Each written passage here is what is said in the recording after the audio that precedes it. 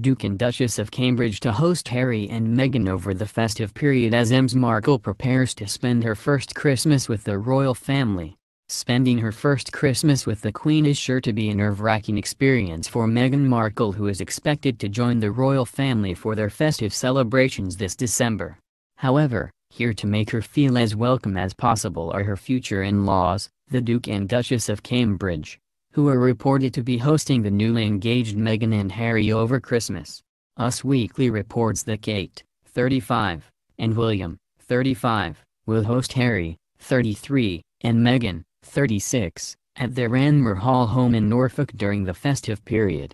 The magazine claims Harry and Meghan will spend Christmas Eve with the Queen at Sandringham, before joining William and Kate. A source told Us Weekly, they'll be William and Kate's guests and travel back and forth with them. The magazine reports that the two couples will enjoy breakfast together on Christmas morning before attending the 11 a.m. church service at St. Mary Magdalene. After a turkey dinner made up of three birds, one of which will be taken to the nursery for Charlotte and George, the royals will watch the Queen's speech at 3 p.m.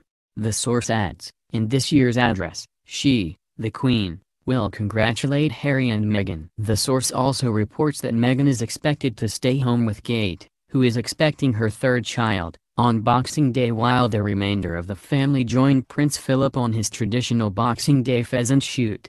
Mail Online has contacted Kensington Palace for a comment. It is thought that the 36-year-old actress has secured an invite to the traditional festivities following the announcement of the engagement despite not yet being an official member of the family.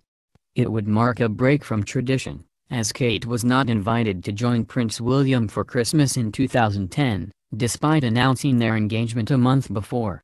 Among the royals expected to go to Sandringham on Christmas Eve are Prince Harry, Prince Charles and the Duchess of Cornwall, Princess Anne and Vice Admiral Timothy Lawrence and Prince Edward with his wife, Sophie, the Countess of Wessex, and their children. Lady Louise and James, Viscount Severn. Meghan was not invited to join the royal family's celebrations last year with it considered unprecedented as the invite is usually reserved for close family. Over three days, Harry and Meghan will experience a deeply traditional Christmas, but one that the royals have uniquely personalized, including cheap and cheerful gifts given on Christmas Eve and a liking for charades at which the Queen, a superb mimic, always shines. Prince Philip leads the family on the 330-yard walk to the 16th-century Church of St. Mary Magdalene on Christmas morning. The Queen, however, is driven. The service is always about 45 minutes, the Queen having received communion privately in the morning. The royals enjoy bespoke Christmas crackers made by Dorset Company Celebration Crackers. Everyone wears paper hats except the Queen. Party games are popular, as are cards. For lunch on Christmas Eve, the men wear suits and the women wear smart silk dresses, but they change into black tie and glamorous gowns for dinner. It's the one time the women wear their most expensive jewelry and almost all wear tiaras. On Christmas Day, they come dressed in their church outfits, usually a day dress or a smart suit with pearls for the women. For the traditional walk to church, the men don warm overcoats,